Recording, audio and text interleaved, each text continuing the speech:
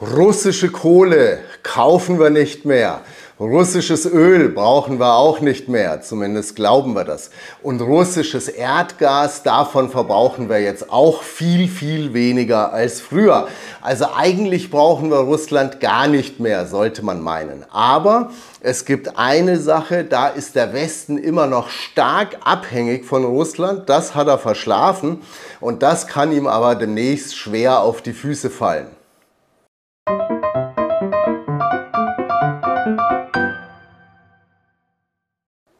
Neulich war ich in Oppenheimer. Oppenheimer, der Film. Vielleicht haben Sie den ja auch gesehen. Es geht da um den Physiker Robert Oppenheimer, der mit einem großen Wissenschaftlerteam dann im Zweiten Weltkrieg die Atombombe entwickelt hat und wie das alles gelaufen ist. Ist ein interessanter Film, ist ja leider auch immer noch ein aktuelles Thema. Ich habe es also nicht bereut, dass ich den angeschaut habe obwohl ich ja ursprünglich eigentlich lieber Barbie gesehen hätte. Aber zu Barbie, da habe ich eben vorher schon ein paar feministische und postfeministische Kritiken gelesen und da war mir dann gleich klar, völlig unabhängig davon, ob mir der Film jetzt gefallen hätte, aber ich hätte ihn nicht verstanden. Dann schon lieber was Leichtes, Unterhaltsames, so wie Oppenheimer. Und apropos äh, irgendwas nicht verstehen, aber trotzdem gut finden, morgen kriegen Sie von mir wieder eine neue Ausgabe von Heinrichs Hauspost. Diesmal mit Uranaktien, also um den großen Uranboom, den wir mittlerweile wieder haben. Da ging es hier ja schon vor zwei Wochen. Und in der Hauspost schauen wir uns dazu aber jetzt auch ein paar Einzelaktien genauer an. Und die ist gratis, jeder kann sie lesen. Wenn Sie sie noch nicht kriegen, dann können Sie die einfach anfordern auf www.heinrichs-hauspost.de. Machen Sie das noch schnell, weil morgen früh geht die Ausgabe raus. Aber eigentlich wollten wir über Russland reden und das tun wir jetzt natürlich auch.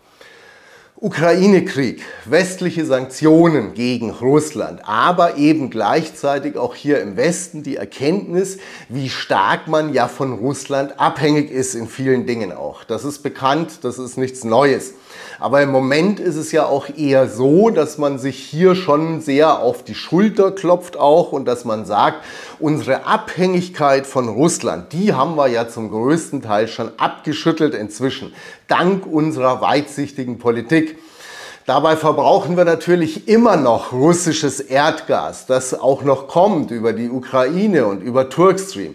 Und wir verbrauchen indirekt auch nach wie vor russisches Öl. Nur dass das russische Öl jetzt natürlich in Drittländer geht und dafür haben andere Produzenten jetzt aber mehr Öl übrig, das sie dann wieder an uns liefern können. Ich bin vor ein paar Wochen auch auf das Thema ausführlich eingegangen hier und kaum macht Russland Förderkürzungen beim Öl Öl zusammen mit Saudi-Arabien. Da kommt bei uns ja auch schon wieder die Panik hoch. Sowas aber auch, dabei sind wir doch schon so unabhängig vom russischen Öl. Und es gibt aber eben noch eine Sache, wo der Westen extrem abhängig ist von Russland und wo er auch nicht einfach so wieder rauskommt. Und das ist Uran. Vor zwei Wochen ging es hier ja schon äh, darum, wie stark der Uranpreis gestiegen ist und wie immer mehr Länder jetzt doch auch wieder auf Kernenergie setzen wollen und das ausbauen wollen. Und zwar eben auch im Westen. Schweden, Frankreich, Großbritannien und eben auch die USA. Und dafür braucht man natürlich immer mehr Uran. Und es geht jetzt nicht um Uran an sich, sondern es geht um angereichertes Uran. Uran an sich gibt es in vielen Ländern, aber aufbereitetes Uran, das kommt zu fast 50 Prozent aus Russland. Das hier ist eine Kernspaltung zur Auffrischung. Das fanden Sie wahrscheinlich in der Schule schon langweilig. Von links in Grau, da kommt ein Neutron. Das kracht in ein Uranatom und zwar ein spaltbares Uran 235. Das zerbricht, dabei setzt es viel Energie frei und gleichzeitig fliegen zwei oder drei neue Neutronen aus dem Kern wieder raus. Und wenn die dann wieder auf neue spaltbare Urankerne treffen, dann gibt es eine Kettenreaktion und dann läuft das Ganze. Nur in Uran, so wie es normalerweise vorkommt, da ist zu wenig Uran 235, nämlich unter 1%. Und da fliegen diese Neuronen dann eben irgendwo hin ins Nichts, weil zu wenig davon da ist und es passiert gar nichts. Für einen Reaktor braucht man mindestens 3% spaltbares Material und für eine Atombombe sogar mindestens 85%. Und das ist gar nicht so einfach, das zu bekommen.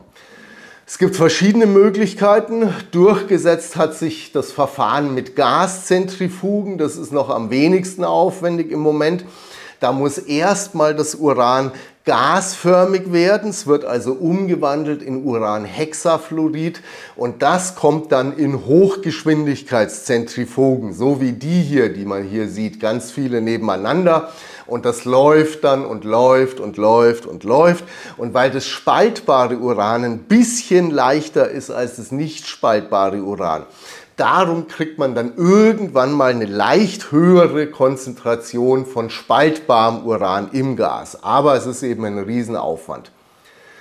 Die USA, die konnten das alles mal, natürlich, sonst hätten sie ja keine Atombombe bauen können. Das kommt bei dem Oppenheimer-Film vielleicht ein bisschen zu kurz, der Sachverhalt, weil dass man grundsätzlich eine Uranbombe bauen konnte. Das war schon vorher klar. Das haben wahrscheinlich auch die Deutschen gewusst. Aber der Aufwand war eben riesengroß. Und ein großer Teil von diesem Aufwand war natürlich, dass man das ganze spaltbare Material herbekommt. Das haben die USA dann geschafft und danach waren sie auch erstmal wahnsinnig dahinter, dass andere das nicht können, dass andere diese Technologie nicht kriegen. Aber wie es eben manchmal so ist, irgendwann haben sie das Ganze dann auch wieder verbummelt. Die letzte Anlage in den USA, mit der man aus Uran Uranhexafluorid machen kann, die ist 2017 geschlossen worden, weil sich nicht mehr gelohnt hat. 2017 war der Uranpreis am Boden und bei der Anreicherung, da sieht es ein bisschen besser aus vielleicht. Da gibt es noch eine große Anlage von Urenco in New Mexico. Das ist eigentlich ein europäisches Unternehmen und die produzieren jetzt ungefähr 50 Prozent vom amerikanischen Verbrauch. Aber auch die USA, das Mutterland der Kernenergie, auch die kriegen 25 Prozent von ihrem angereicherten Uran aus Russland. Und noch sind die USA ja der größte Atomstromproduzent der Welt, noch vor China und noch vor Frankreich mit über 90 Kernreaktoren. Und die Lücke kriegen sie jetzt aber eben einfach nicht geschlossen. Und in Europa ist es noch schlimmer. Da kommen 30 Prozent vom angereicherten Uran aus Russland. Und insgesamt liegt der russische Weltmarktanteil da eben bei 50 Prozent. Und wenn man sich die Umwandlung anschaut von Uran in Uranhexafluorid, da sieht es im Westen dann sogar noch schlechter aus, weil da kommen nämlich zwei Drittel aus Russland und China. Und von wem aus Russland kommt das ganze angereicherte Uran? Es kommt von Rosatom. Ich habe dazu schon äh, verschiedene Aussprachen gehört. Rosatom, Rusatom, Rasatom, Rosatom und so weiter und so weiter. Und Sie wissen ja, ich kann noch nicht mal China richtig aussprechen. Darum bei Rosatom versuche ich es jetzt erst gleich gar nicht. Rosatom ist eigentlich eine Behörde, es ist die russische Atomenergiebehörde. Hier haben wir den Hauptsitz in Moskau.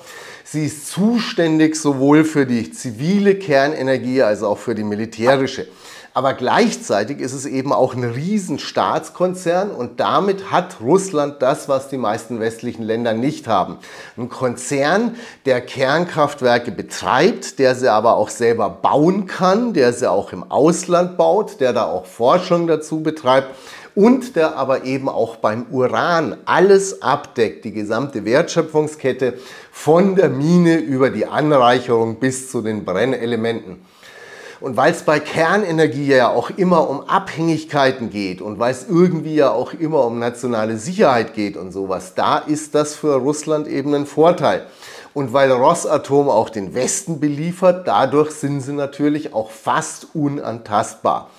Es gibt anscheinend Sanktionen gegen einzelne Führungskräfte bei denen, aber was es selbstverständlich nicht gibt, das sind Sanktionen gegen Rosatom an sich. Und das sagt natürlich schon sehr viel. Und hier bei der Deutschen Welle, da ist zum Beispiel auch ein sehr guter Artikel drüber, wie zum Beispiel kurz nachdem die EU ihren Luftraum geschlossen hat für russische Flugzeuge, dass da dann doch ein paar Tage später ein russischer Transporter einfach in die Slowakei geflogen ist und der konnte das auch zur allgemeinen Verwunderung, weil der hat nämlich der Slowakei Uran gebracht, das sie gebraucht hat und das gleiche dann später auch nochmal mit Ungarn. In beiden Ländern geht es da um die Hälfte von der gesamten Stromproduktion. Und wir haben in der Slowakei, in Ungarn, in Bulgarien und in Tschechien 18 Reaktoren insgesamt, die auch von Russland gebaut worden sind. Das heißt, auch wenn die jetzt von woanders her Uran kriegen würden, aber man kann sie nur befüllen mit Brennstäben aus Russland. Von der ganzen Wartung und Betreuung von den Kernkraftwerken mal ganz abgesehen. Das macht abhängig und darum hat Ungarn zum Beispiel letztes Jahr im August, als der Ukraine-Krieg schon ein halbes Jahr gelaufen ist, trotzdem nochmal zwei Reaktoren neu bestellt in Russland. Und Russland hat das dann auch unterstützt mit einem 10 Milliarden Euro Kredit. Das heißt, wenn auch Sie mal gerne ein Kernkraftwerk hätten, aber Sie haben kein Geld auf dem Konto, dann fragen Sie einfach Wladimir Putin, der stellt Ihnen das dann schon hin. Aber das ist natürlich auch die Strategie. Wer für andere Länder Kernkraftwerke baut, der ist dann auch drin bei denen in der Energieversorgung. Und da, solche Länder überlegen sich das dann schon zweimal, ob sie sich dann mit Russland anlegen und Streit anfangen. Und außerdem kann man diese Länder dann auch noch jahrzehntelang beliefern mit Uran. Und so läuft es eben auch zurzeit. Russland baut Kernkraftwerke in China, in Indien, in Ägypten, Bangladesch, in der Türkei. Und das hätten wir alles ja auch mal gekonnt früher. Aber jetzt können wir es natürlich nicht mehr und schauen bei dem Ganzen nur noch zu. Mal ganz abgesehen davon, dass Rosatom 2013 ja auch Uranium One übernommen hat und dass es damit jetzt auch ein Fünftel der amerikanischen Uranvorkommen direkt kontrolliert. Genehmigt worden ist die Übernahme von der Obama-Regierung, aber die Clinton-Stiftung, die hat eben kurz vorher Geldspenden bekommen von Uranium One und zwar nicht zu knapp. Deswegen ist später auch kurz ermittelt worden. Das Ganze ist dann aber im Sande verlaufen. Wie gefährlich ist das alles für den Westen? Es ist jetzt nicht absolut akut. Man sagt zum Beispiel, die amerikanischen Kernkraftwerksbetreiber, die haben Uranreserven in der Hinterhand für die nächsten 18 Monate. Das heißt, wenn Russland jetzt wirklich sagen würde, wir beliefern euch da nicht mehr, dann gehen jetzt nicht sofort die Lichter aus da. Aber früher oder später kann es natürlich schon an die Substanz gehen, weil man kann jetzt diese Produktionskapazitäten, die zusätzlichen, ja nicht schnell irgendwo herzaubern. Gibt es eine Chance, dass man als Anleger davon profitieren kann, von dem ganzen Schlamassel? Jein, würde ich sagen. Also die meisten Firmen, die Uran anreichern, die sind nicht börsennotiert. Urenco zum Beispiel oder auch Urano aus Frankreich, die sind das eben nicht. Wer sich damit zum Beispiel auch beschäftigt, das ist Honeywell, das ist aber ein großer amerikanischer Mischkonzern und da spielt das Urangeschäft jetzt nicht so die große Rolle. Und wer sich auch damit verstärkt beschäftigt, wer jetzt auch verstärkt in die Aufbereitung gehen will, das ist der Atomkonzern Westinghouse. Der war ja schon mal pleite und der gehört jetzt inzwischen aber zu 49 Prozent zu Cameco, dem Uranproduzenten. Da kann man vielleicht indirekt jetzt ein bisschen davon profitieren, aber dazu morgen mehr in der Hauspost. Und dann haben wir noch Centrus Energy, auch aus den USA. Das ist wirklich ein reiner Urananreicherer. Die sind sogar profitabel im Moment und die ziehen auch gerade eine neue große Anlage da hoch. Aber es ist eine sehr, sehr spekulative Aktie. Das Eigenkapital ist negativ und wie man hier auch sieht am Chart, das Sentiment für die Aktie, das schwankt auch sehr stark. Nur, aber nur damit Sie es eben mal gehört haben.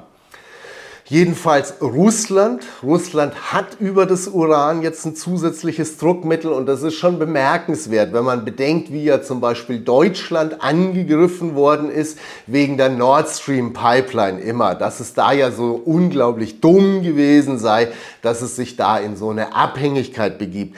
Aber ihre eigene große Abhängigkeit beim Uran, das haben diese Länder, die uns da kritisiert haben, nicht gesehen, jahrelang nicht gesehen oder aber sie wollten es auch nicht sehen.